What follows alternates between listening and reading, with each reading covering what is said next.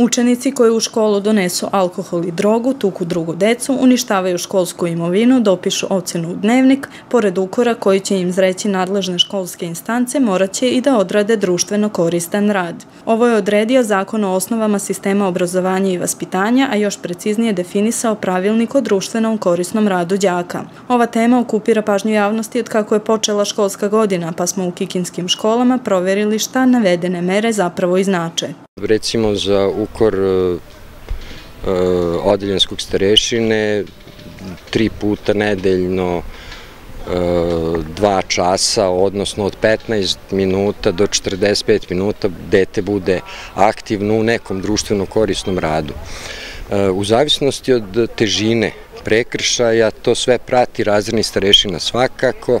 Ako je ukur direktora, direktor imenuje još stručnog saradnika ili još nekoga ko bi pratio taj rad, ili ukur nastavničkog veća gde nastavničko veće imenuje ljude koji će pratiti sve to što se dešava, jer tada je četiri puta nedeljno po četiri dana praktično četiri puta mesečno po četiri dana, mislim non stop dete nešto radi. Kako se ističe, cilj ovih mera nije kažnjavanje, već da se razvije svest o posledicama sobstvenog ponašanja. Podršku prilikom obavljanja društveno korisnog rada učenici će imati od kompletnog nastavnog i van nastavnog osoblja škole.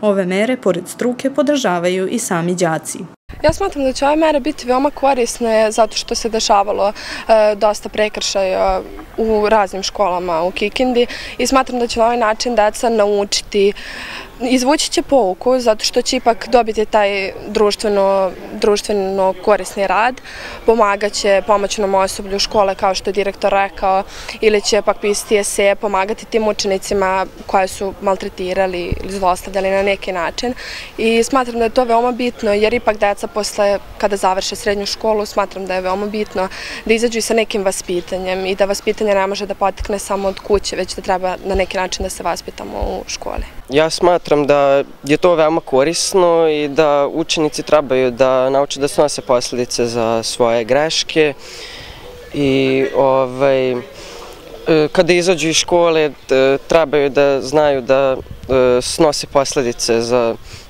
svoje greške.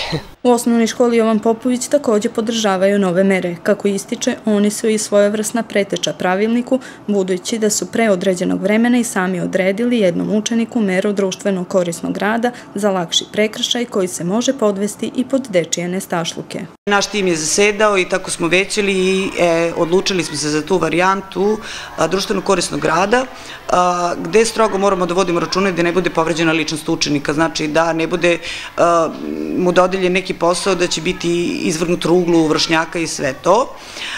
Mi smo se dogovorili, eto, pošto je u pitanju bio dečak, da on pomaže malo našem domaru, na naše zadovoljstvo. Učenik je vrlo rado to prihvatio. Bilo mu je da kažemo lepo.